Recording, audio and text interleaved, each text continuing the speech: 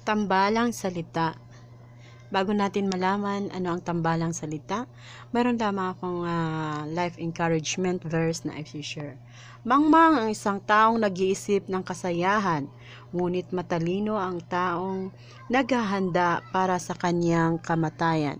Makikita natin ito sa mga ngaral chapter 7 verse 4.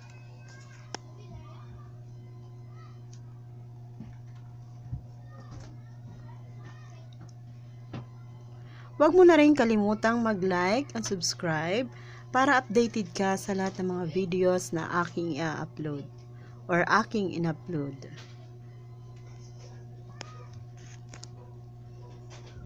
Tambalang salita sa Ingles ay compound words.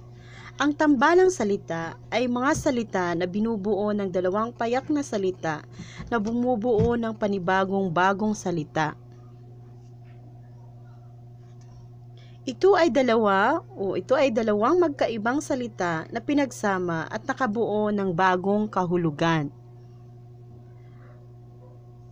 Bago natin malaman ang mga halimbawa ng tambalang salita, mayroon mayroong dalawang uri ng tambalang salita. Alamin natin muna ang dalawang uri ng tambalang salita.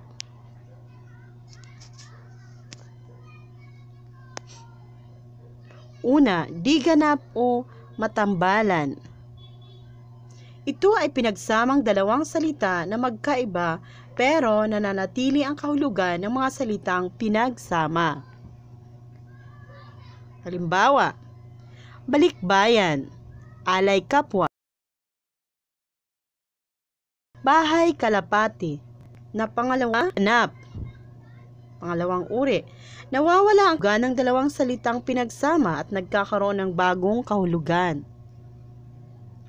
Mga halimbawa, kapitbahay, bahaghari, hampas lupa, dalagang bukid, mga tambalang salita. Punta naman tayo sa mga ta- tambalang salita. Palo Sebo. Ito ay larong Pinoy.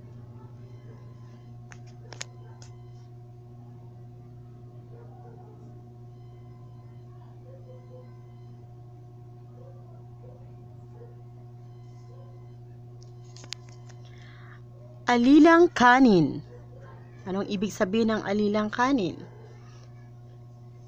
Nagtatrabaho siya para sa pagkain lamang. Punong guro. Siya ang pinuno ng mga guro sa paaralan. Principal. Silid-aralan. Ang silid-aralan ay ang lugar na kung saan ang mga bata sa bawat seksyon o grade level ay pumapasok. Dalagang bukid, it- isa itong uri ng isda. Agaw buhay, parang malapit ng mamatay o nag-50-50 na.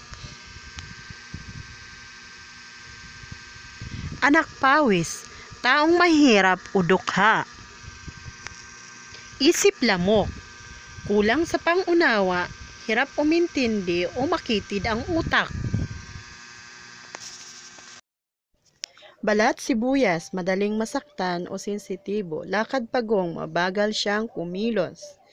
Sirang plaka, paulit-ulit ang sinasabi.